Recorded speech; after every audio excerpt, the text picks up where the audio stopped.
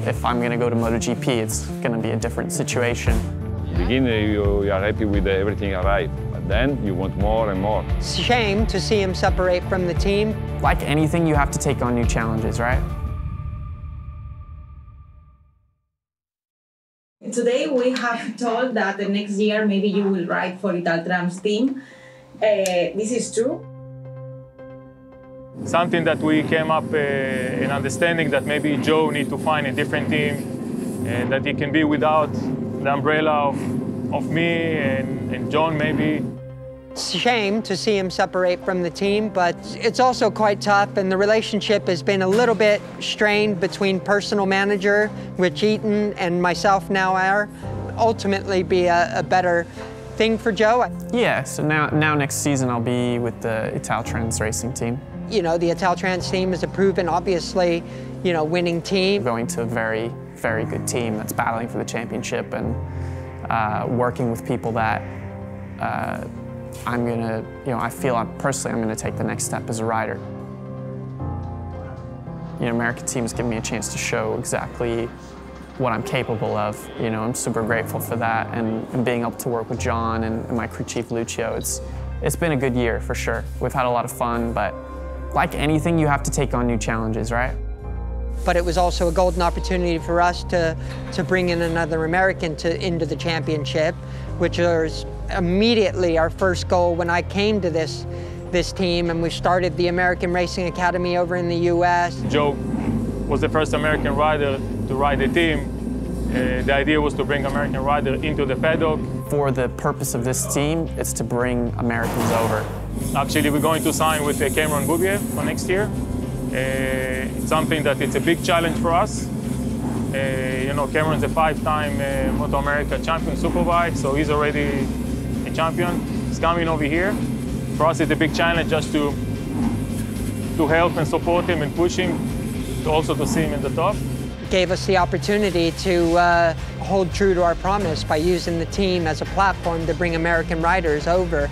And we're not only going to have, obviously, uh, Joe in the championship as a strong competitor next year, but we have a, you know, five-time multi, you know, superbike champion coming to the uh, the Moto2 championship, which is going to be a, a big thing for American racing, I think. Here's Joe Roberts, a man who could well prevail in these conditions. We know he's Italtrans bound for uh, the 2021 season. Just getting a few last-minute words of encouragement there from John Hopkins. There's some late drama here coming. Remy Gardner Yeah. and Joe Roberts, America and Australia. Roberts versus Gardner. Here is Roberts. He's just behind Gardner, coming around the final corner now. Roberts, 39.117. Roberts second then. Obviously feels like he's got a, a real crack at winning tomorrow's Grand Prix of Europe in Moto 2. And what he's doing now is quite impressive. So also this creates a little bit of uh, you know good uh, good tension, no? good uh, pressure in the, inside the inside the garage because uh, at the beginning you, you are happy with everything arrive, but then you want more and more. I, I've told the guys, I've said that we have to get the win this year. Moto 2, three races to go, 25 laps here in Valencia coming up. We look to the lights. They go out and we are underway. Good start there from Xavi Vierge on pole position and also for Joe Roberts. Here comes Joe Roberts immediately attacking into turn four and he goes through to the lead but he's wide on exit. He's pushed to the curbs. Vierge pounces back through turn five. Roberts attacks Vierge again at turn six, and this time it looks like he has made it stick. Now then, Joe Roberts has already found a couple of tenths on Vierge in that third sector. So Roberts at the moment executing plan A to perfection. Oh, Roberts is Oh, down! he's gone down. He's gone down!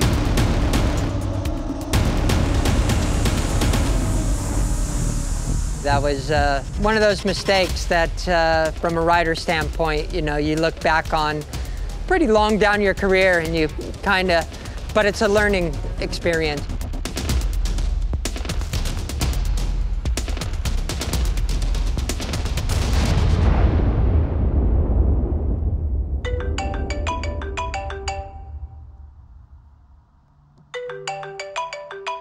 Hey man, sorry, sorry I couldn't get uh get back to you on Sunday. But what did you want to speak about?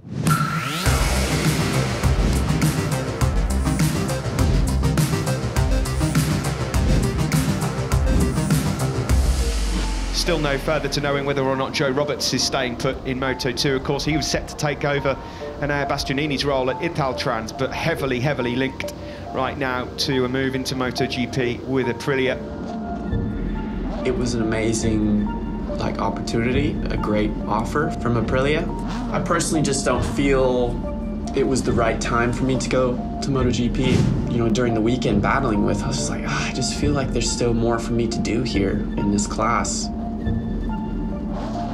In my mind, that morning I had woken up and I was like, okay, I'm gonna stay in Moto2. And so with that mindset, I was able to go out and like, I know it sounds a bit cheesy, but I was like, wow, these guys have done a lot for me this year. I was like, let me try and like give them a show like the best I can be. Here we go then, the Grand Prix of Portugal in Moto2 when we are away. Good start from Luca Marini, second on the grid. Is there any room through? Look at this group of riders and Roberts is right on top of them. Fastest lap of the race has just gone to a Aprilia bound maybe. MotoGP rider American Joe Roberts down in 11th place, a 42.955. What a race!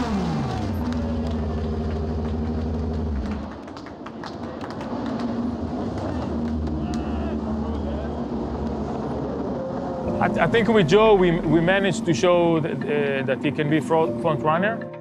It's been a huge change in, in Joe since that I've seen.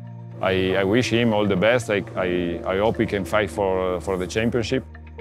He improves his consistency. There's no reason why he can't be a, a championship contender, strong championship contender next year. I don't think I've actually had that mindset to just be and go and like try to fight for the championship. I haven't had that mindset since I was racing in America, so anything can happen in Moto2 and I'm still racing the best riders in the world, but I really personally feel there's a lot of chances for me to win races next year and that's something I couldn't turn away, you know, it's something that is like inside of me since I was a young kid is to is to be like a champion.